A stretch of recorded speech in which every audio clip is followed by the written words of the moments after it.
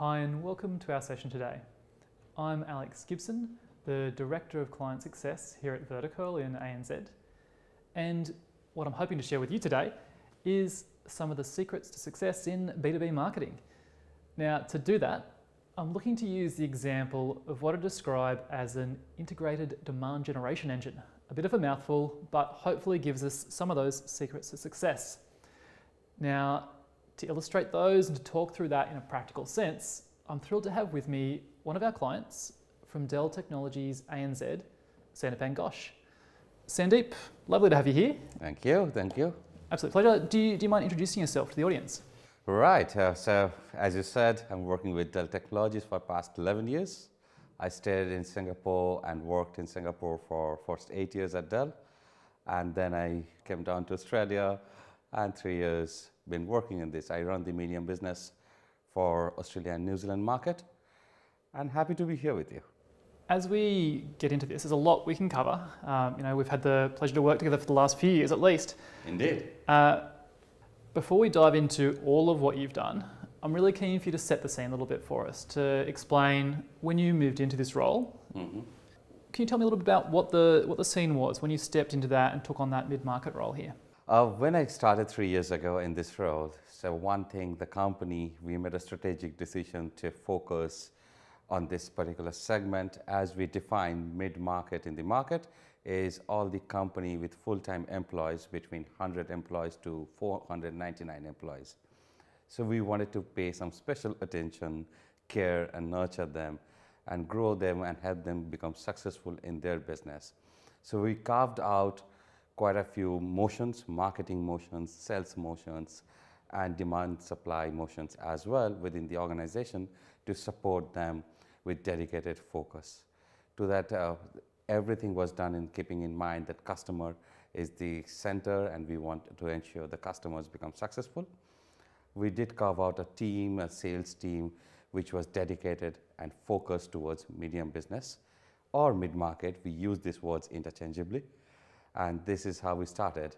At the back of this, when we started looking into the profiles and the pain points of the customers, what are the areas they are looking for support from company like Dell Technologies can offer. Then we proceeded more to come up with the relevant content, relevant message which will resonate with the customers, A, and B, which is much more important and consumable for them to understand what are we talking about.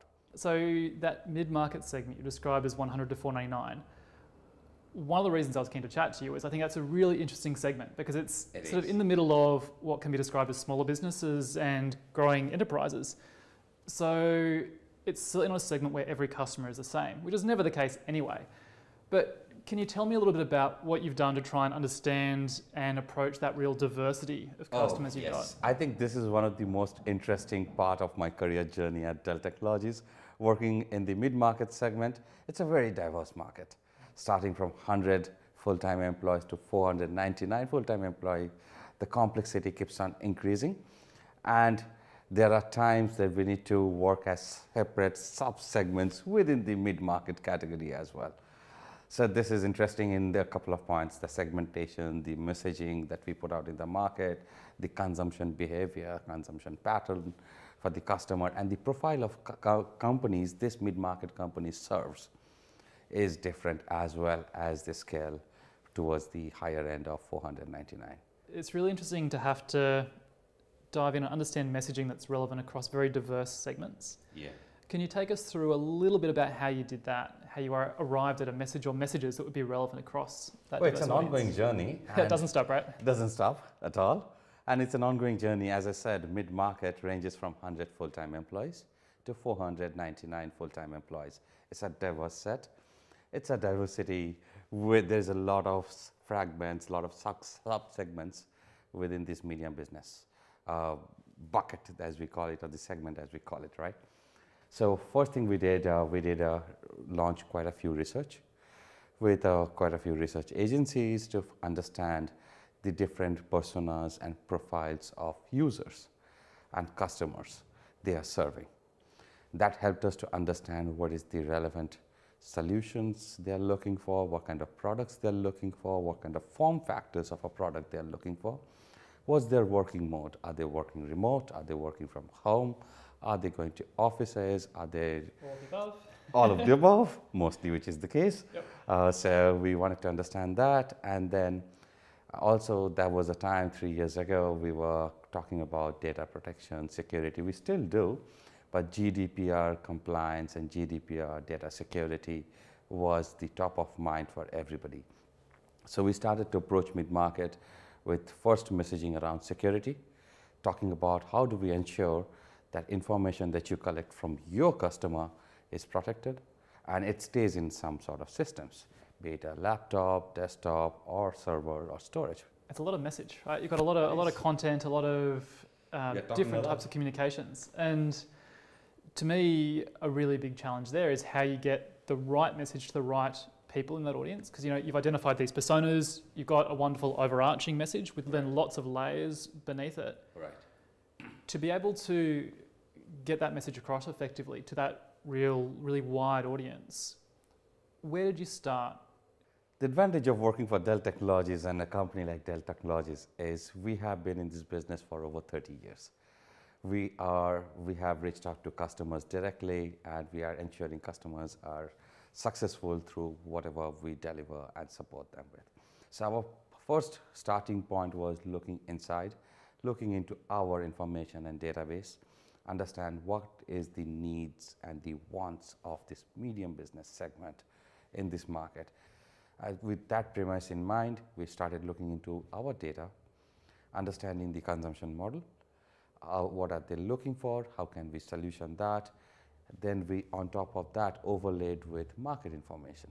So that helped us to ensure that we are targeting customers in an account-based marketing. We were not there back then, but we were like account-based messaging, and that's what we did. So, from a data perspective, you've, you've really covered, I think, in a lot of depth how we understand the customer. Flipping that around, being able to then engage that customer. How do you do that from a data perspective, Sandeep? Interesting. So, our first go to market approach was based on our database. If customers have given us the permission to contact them via email or via phone, so we would be then uh, doing that right appropriate channel of messaging based on the permission that we have, and we would be sharing with them the relevant information. We started off with uh, sharing a welcome and greetings from uh, the general manager of the business. Followed by that, we shared with them relevant content like case studies, infographics, white papers, technical papers, with a strong call to action. Please talk to us, and we are gonna, we are here to help you. We are going to provide you with the right sets of consulting solutions and support.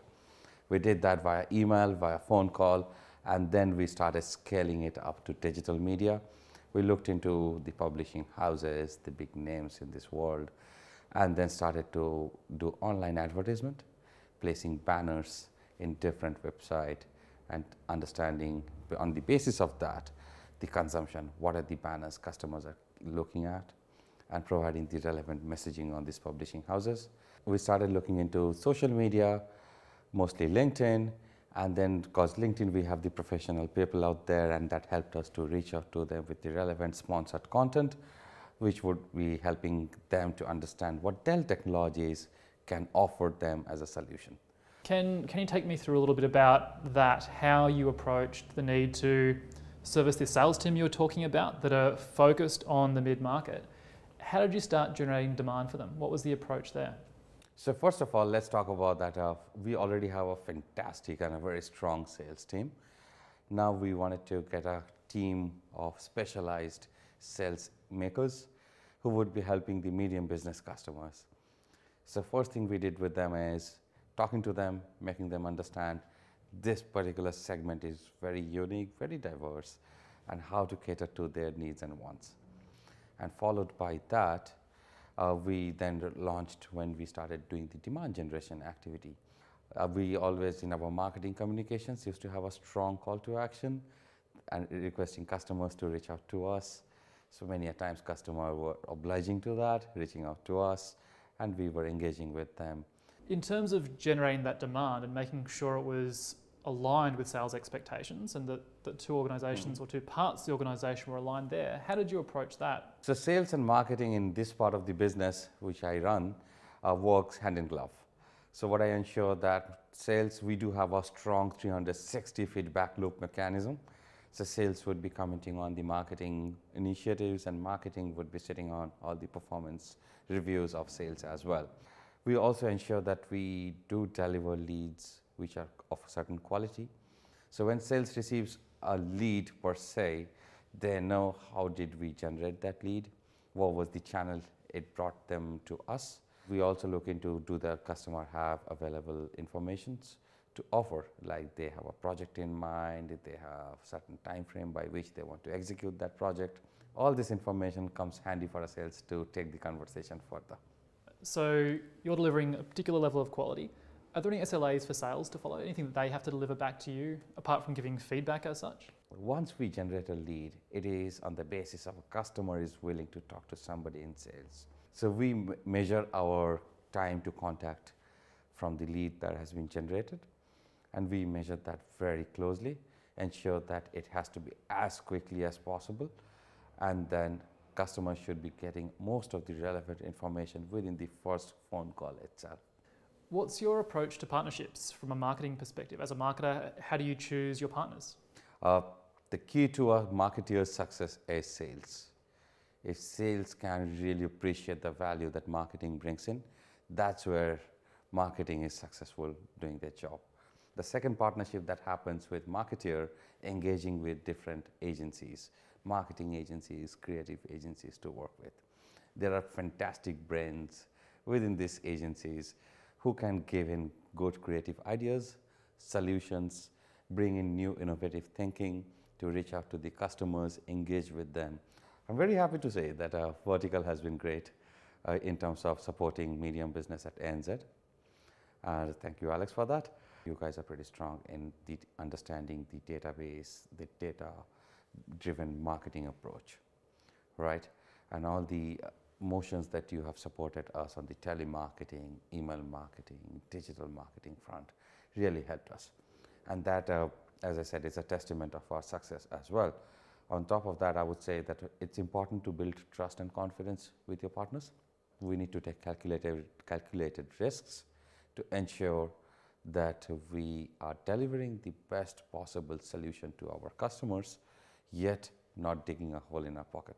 I always start with looking at the message, looking at the vehicle that I want to use for, to go to market, and then engage with partners, those who are pretty strong on those domain areas. Stepping along just slightly, with those partnerships that you establish, how do you keep your partners accountable from an agency perspective? Communication is the key to ensure uh, the partnership is working fine transparency is very important and that also brings in the element of credibility and trust and then we do have weekly or regular reporting which will ensure that partners are delivering as per the KPIs and should the partners need any support from Dell or that they do get that as well. So what we've talked about so far, Sandeep, is how you got things up and running when you really came into that role, or right. what you did when you got started in the role. Uh, quite a wide range of things as we bring it back to that demand generation engine, once it kicks off, you've got to keep it going. You've got to keep feeding it. You've got to scale it. You've got to grow. Tell us about that. How did you keep things moving? What happened next? We didn't want to come across as the beginner's luck that we kicked off pretty strong, and then we have to ensure that we are maintaining the momentum. So that also means the numbers, we need to keep an eye on our ROIs. At the same time, we need to look at the relevancy of our content that we put out in the market. Again, what happened, data became front and center of our conversation. We started looking even in much more depth and granular detail on the various segments within our data, their purchase pattern, their intent score, online behavior, marketability, how much can we reach out to them. And, and, I assume that includes just trying to reach more people as well, right? Expanding that reach within that as you understand that data better. exactly. better. Yeah. As a marketability is how can I reach to more and more people with the right relevant content. So with that, uh, we started looking into more mining the data and un understanding the data even more. and reaching with the relevant message and content to much more broader spectrum. While doing so, we looked into the efficacy of our various vehicles that we adopt. Is email really working for them or are we sending it bit too many times? So we did a bunch of A-B testing, what works well. We looked into is telemarketing the right approach? If it is not, scale down on that approach. Is the digital media the way to go? Online advertisement, what kind of message is working fine with that? We looked into that as well. Is social media the right approach? What social media is it? LinkedIn or Instagram, Facebook, where is most of our customers spending a lot of their time? We didn't forget about our own DellTechnologies.com. How can we leverage the DellTechnologies.com website, which gets millions and millions of traffic on a regular basis? We put out a dedicated page with lots of content, free to download shareable assets. We have put in a lot of videos, customer references, case studies, expert talk series. We brand them as Tech Talks. And we launched a webinar series. Dell Technologies is successfully running that webinar series in India. They, call, they used to call it Coffee with Dell. They're still running it very successfully. And we took that name, brought it in Australia, and we started Coffee with Dell. And in Coffee with Dell, we get experts from the industry. They have a fireside chat, talk about various ongoing projects, as well as live Q&A, customer meetings. So we have done quite a few such webinars. We have been doing it for close to two years now. Must have been challenging though. You know, you make it sound like pretty smooth sailing, right? what, what are the challenges? Or was it just all almost too easy? We wanted to ensure that our data is not dated. Then we started working with sales to make the team much more agile, nimble, supple, so they would be able to respond to customer much more quicker than the commercial and the enterprise business that we were doing it. Third, getting the agencies to work that quick as well and deliver results quickly is lots of fun from the agency. Yeah, indeed, and you guys did a good job. So that is uh, the key to success in this segment would be understand your customer and that understanding happens through the data. That's what we are talking about at the start, right? Secrets of success, that's, that's one. Understanding your customer. so how, how did you get there having tried all these different things out, integrating it, and then was there any benefits in doing that? So as I said at the beginning and many a times, data, data, data. We tested out various creatives, various vehicles in the market to figure out what works and what doesn't. And that's how we launched this, uh, understand the what kind of vehicles, what kind of creative, what kind of target audience works, and then wrap it around in an integrated marketing approach. So, so, it sounds like a beautiful sort of outcome, but is it measurable? The conversion rate goes up with the message getting integrated.